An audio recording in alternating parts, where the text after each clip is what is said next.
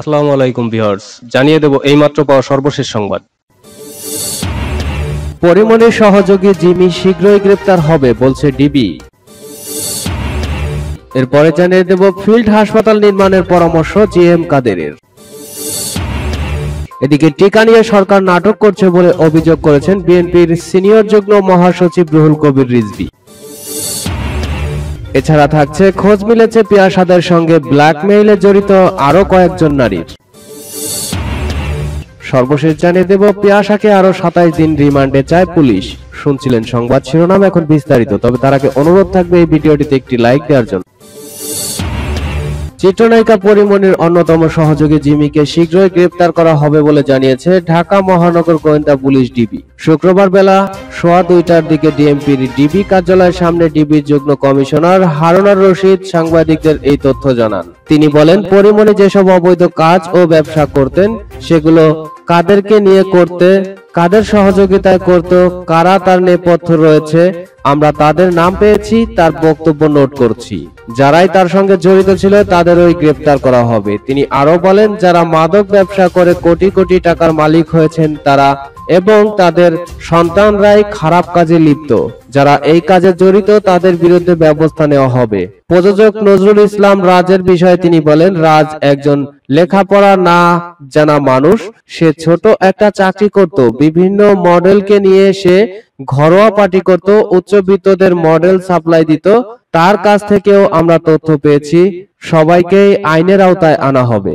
প্রসঙ্গত, গত বুধবার সন্ধ্যায় বনানীর বাসায় অভিযান চালিয়ে পরিমণিকে আটক করা হয়। এ সময় তার বাসা থেকে বিপুল পরিমাণ মাদক দ্রব্য উদ্ধার করা হয় বলে জানায় র্যাব। পরদিন বৃহস্পতিবার এক প্রেস ব্রিফিং এ র্যাব জানায় পরিমণির বাসায় একটা মিনি বার ছিল তার বাসায় নিয়মিত পার্টি হতো। সেই পার্টিতে মদ সহ সব ধরনের মাদক সাপ্লাই দিত নজরুল ইসলাম রাজ। রাজের নেতৃত্বে একটা সিন্ডিকেট ছিল যাদের কাজই হলো উঠতি বয়সী তরুণীদের দিয়ে নানা রকম অপকর্ম করানো। পরিমণিকে আটকের আগের দিন মঙ্গলবার মিশুক ও জিসার নামে দুজনকে গ্রেপ্তারের পর তাদের দেওয়া তথ্যের ভিত্তিতে পরিমণি ও রাজের বাসায় অভিযান চালানো হয়। পরিমণি ও রাজ সহ গ্রেপ্তার চারজনের বিরুদ্ধে বনানী থানায় মাদকের দুটি মামলা করা হয়। মামলা দুটিতে চার আসামি চার দিন করে রিমান্ডে রয়েছেন। বৃহস্পতিবার রাতে পরিমণি ও রাজকে রিমান্ডে পাঠান আদালত। সূত্র যুগান্তর। চলমান করোনা পরিস্থিতিতে মানুষের জীবন বাঁচাতে ফিল্ড হাসপাতালের বিকল্প নেই বলে মন্তব্য করেছেন জাতীয় পার্টির চেয়ারম্যান ও বিরোধী দলীয় উপনেতা গোলাম মোহাম্মদ জি এম কাদের।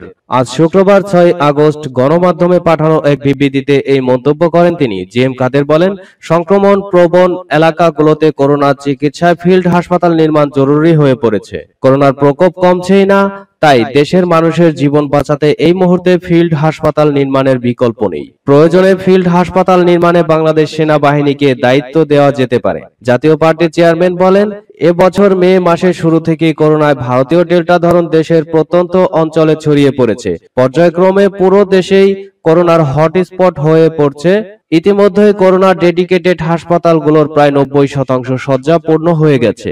আইসিও খালি নেই, বেশিরভাগ হাসপাতাল স্বাস্থ্যকর্মীর বক্তব্য অনুযায়ী আবাসিক হোটেলগুলোতে হাসপাতাল করার চিন্তা করছে সরকার। কিন্তু অত্যন্ত সংক্রামক করোনা চিকিৎসার জন্য তুলনামূলকভাবে ফিল্ড হাসপাতাল নির্মাণই সুবিধাজনক ও কম ঝুঁকিপূর্ণ। ইতিমধ্যেই চীন, থাইল্যান্ড ও ইন্দোনেশিয়া করোনা মোকাবেলায় ফিল্ড হাসপাতাল নির্মাণ করে করোনা চিকিৎসায় সাফল্য পেয়েছে। বিরোধী দলীয় নেতা আরও বলেন, প্রতি বছর বিভিন্ন মহড়ায় বাংলাদেশ সেনাবাহিনীর ইঞ্জিনিয়ারিং কোর দ্রুততার সঙ্গে ফিল্ড হাসপাতাল নির্মাণ করে।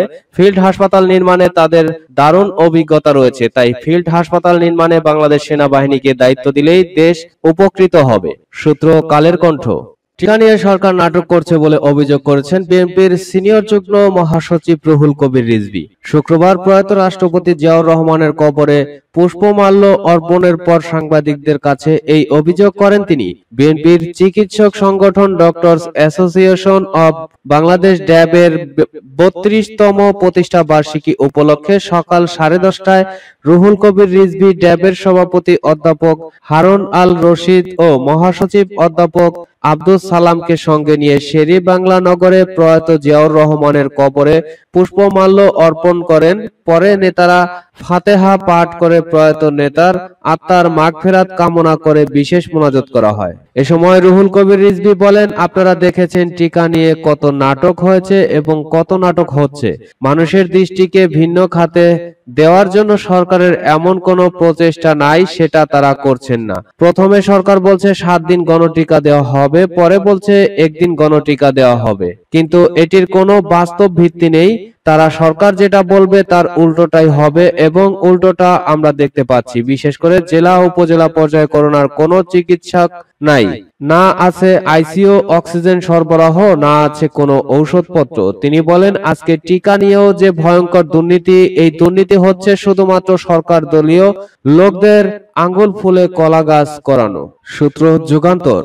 রাজধানীর অভিজাত এলাকায় অবৈধ কারবার পরিচালনার জন্য ভয়াবহ সিন্ডিকেট গড়ে তোলেন নজরুল ইসলাম ওরফে নজরুল রাজ, পরিমণি, পিয়াসা, মৌ, মিশু, হাসান জিশান সহ দশ থেকে বারো জন। তারা গুলশান, বনানী বাড়িধারা উত্তরা সহ বিভিন্ন ফ্ল্যাট ও অফিসে নিয়মিত আসর বসান। এসব আসরে ধনিক শ্রেণির যুবক ও ব্যবসায়ীদের লক্ষ্যবস্তুতে পরিণত করেন। তাদের চাহিদা মতো সরবরাহ করা হতো সঙ্গী। এসব সঙ্গীর অনেকেই সবিজ জগতের অতি পরিচিত বা স্বল্প পরিচিত মুখ। তাদের মাধ্যমে ব্ল্যাকমেইল করে মোটা অঙ্কের অর্থ আদায় করেন চক্রের সদস্যরা। এমনকি দেশের বাইরেও পছন্দের সঙ্গী সহ আনন্দ ভ্রমণে পাঠাতো এ চক্র। নিয়ন্ত্রণ করত মাদক ও চোরাচালান। এসবের মাধ্যমে বিপুল বৈত্য ভৈবয়ের মালিক হয়েছেন চক্রের সদস্যরা। বুধবার এলিট ফোর্স র্যাবের হাতে গ্রেপ্তার রাজ মাল্টিমিডিয়ার শতাধিকারী নজরুল রাজ নায়িকা পরিমণি। এর আগে গ্রেপ্তার মডেল ফারিয়া মাহবুব পিয়াসা অস্ত্র ও সোনা চোরা কারবারি, শরীফুল হাসান ওরফে মিশু হাসান ও মিশুর সহযোগী মাসুদুল ইসলাম ওরফে জিশানদের জিজ্ঞাসাবাদে আইন প্রয়োগকারী সংস্থা এসব তথ্য পেয়েছে। এদিকে মডেল পিয়াসা ও মৌকে জিজ্ঞাসাবাদে তাদের সঙ্গে কাজ করেন এমন কয়েকজন নারী সদস্য তালিকা পেয়েছে পুলিশ।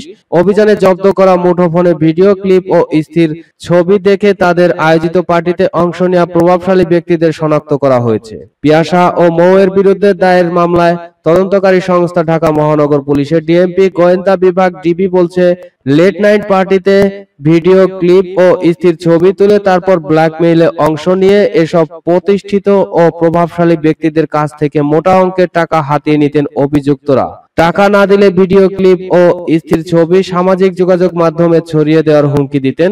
ময়না, মামলার তদন্ত কর্মকর্তা সংশ্লিষ্টদের দাবি, পিয়াসা ও মৌ ব্ল্যাকমেইলে সংঘবদ্ধ চক্রের সদস্য। তাদের এই চক্রের অধিকাংশ সদস্য ঢাকার বাইরের নিম্নবিত্ত ও মধ্যবিত্ত পরিবারের সন্তান। মূলত তাদের মডেল হওয়ার ইচ্ছা ছিল, কিন্তু মডেলিং ও অভিনয় জগতে নিজেদের প্রতিষ্ঠিত করতে না পেরে তারা ব্ল্যাকমেইলে জড়িয়ে পড়েন। সূত্র বিডি প্রতিদিন।